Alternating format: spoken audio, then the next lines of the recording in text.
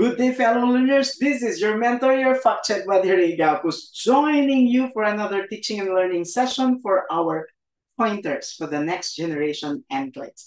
So this is our session number 17. Wow, there's a lot of our of these sessions already in our YouTube channel. So please don't forget also to scroll down in our YouTube channel because all of those quick fix videos that I uploaded in the past are still relevant for your next generation NCLEX RN. So join our thousands and hundreds of thousands of nurses worldwide who pass to the Ray Gapuz system. So give us a text or a call at 0906-201-9383 or send me a message at our email address info at raygapuzreview.com.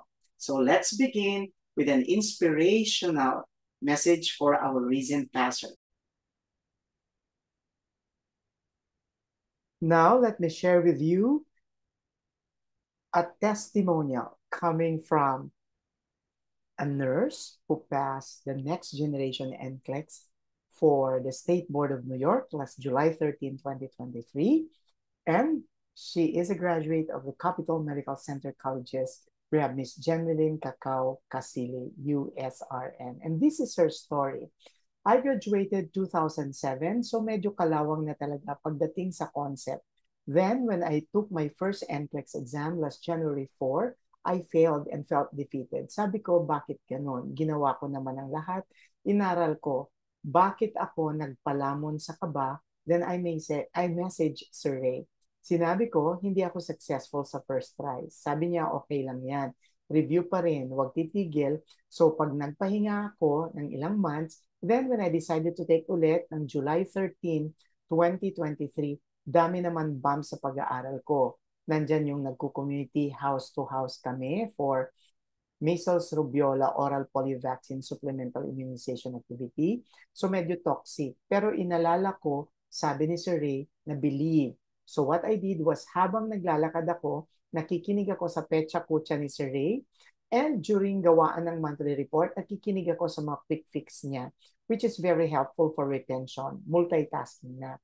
And every time na may tanong ako, andyan ang mga mentors natin, lalo na si Sir Francis, sinasagot mga tanong ko. Si Miss Joanne, sobrang thankful ako kasi never siyang nakulitan sa akin and helped me na makasit in sa February batch and sa June 3 days quick fix. So fast forward nung exam date ko na, July 13, Maaga ako dumating, 4 p.m. nag-start ako, natapos ako ng 8 p.m. Habang sumasagot ako, nakangiti ako, naalala ko mga lectures ng mga mentors, lalo na boses ni Sir Ray sa ECG.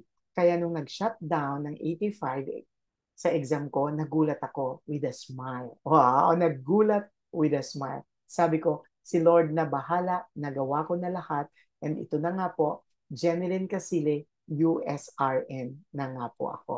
Ray A. Gapos Review System really helps me and hindi nila ako iniwan.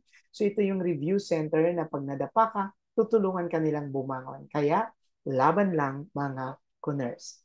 Yun din ang gawin mo. So the first question that you need to ask yourself is, what do I need to study for the test?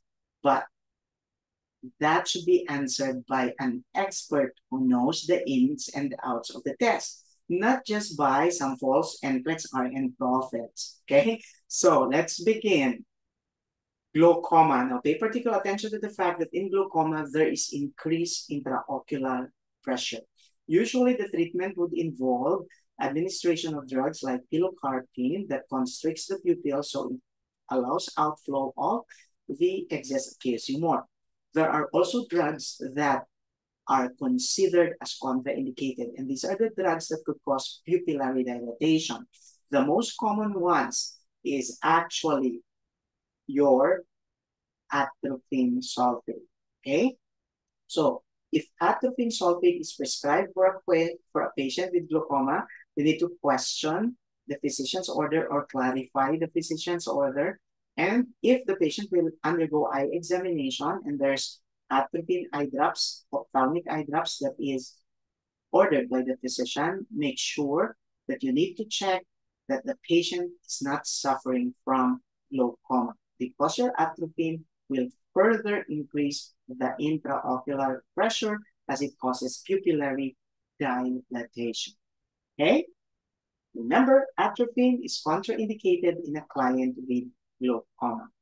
Next, discharge priorities. Now, during a disaster in which additional beds will be needed, so you need to discharge patients so that you can accommodate the increasing number of clients who are injured because of, say, for example, an earthquake, a fire, or there's a calamity that has increased the uh, number of persons who are injured in a specific area. So to make way for a vacant bed during major disasters, consider discharging the following patients. Those who delivered 24 hours ago by normal spontaneous delivery, those who are due for discharge within the day. So if they are due for discharge in the afternoon, you can discharge them in the morning. And those who are done with the diagnostic test and they are not bedridden. So they are done, like for example, if undergone ultrasound, those patients are not bedridden. But patients who have undergone lumbar puncture, they need to be on bed and they should lie flat for six to eight hours to prevent spinal headache. You cannot discharge them right away. So those who are still having diagnostic tests and they are having a uh, diagnostic workup for a specific um, disease condition that the doctor is ruling out, if they are done with the diagnostic test, then you can discharge them too. Okay? Next one would be your celiac disease. Now, in celiac disease, there's a potential development of intestinal villus atrophy. So, instruct the client to avoid barley, rye, and wheat. Oats can already be given. And triticale, which is a hybrid of your uh, rye and wheat, should also not be given to a patient with celiac disease. The patient with celiac disease may also need to inform their priest if they're already having communions that they have celiac disease so we can reserve um, your wafers, communion wafers that do not contain either your barley, rye, or your wheat. And then cosmetics should also be checked for the potential content that could be associated with either a barley, rye, and wheat, especially those who are fond of using lipsticks. Now, corn, cassava, and coconut are considered gluten-free for as long as they are raw, okay? Pasta, pretzels, pizza, pastries are not gluten-free. So anything that is baked, that's commercially prepared, these are usually not considered gluten-free. Cakes, cereals, cookies, and crackers are not gluten-free, especially your canned cereals. These are commercially prepared, and some additives are actually given uh, in, in mixed with these um, products. Now, for patients who are asking you if potatoes are considered gluten-free, those that are raw are considered gluten-free, but baked potatoes are not. So you have to be very, very specific your, with your instructions.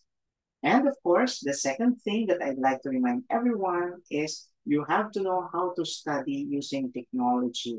Now, the next generation NCLEX now would ask you to navigate to the different types of questions such as bowtie, case studies, matrix, and if you are not adept with using technology, then there's nothing. So your test preparation should, should be something that would include the use of technology. Here at Ray Gapuz System, we utilize technology that are unique to our system and even our teaching and learning tools are published by international publishing companies. So the latest technological tools that we have is your, is your Gapuz for shells. Now take note, it covers all the subject areas in the NCLEX RN and you have a choice to either watch a video, take short quizzes, long exams, or just focus on the next generation NCLEX items. We have the most number of NGN items in our course shell. And of course, the third requirement is be in a conducive environment. This is our NCLEX Next Generation Simulation Room at the Ray Gapuz building here in Yun Avenue in Manila. And this is our very intimate class, very comfortable when we conduct face-to-face -face classes. So may I invite you to avail of our next generation NCLEX RN Flex, the most flexible test preparation class for the NCLEX RN that includes live face-to-face -face classes or virtual classes or on-demand and limited video recorded lessons, Cuba, three books, and of course, the next generation sample questions strategies with me, plus my quick fix session. So the fee starts at 3,499. Give us a call at 0906 201 So you can choose either weekday classes in the morning or weekday classes in the afternoon or just exclusively weekend classes, either morning or afternoon. So this is your mentor, your fact check buddy, Ray Gapuz saying, I'll see you in my next video. Take note, a functional concept a day keeps your NCLEX RN fears away. See you in my next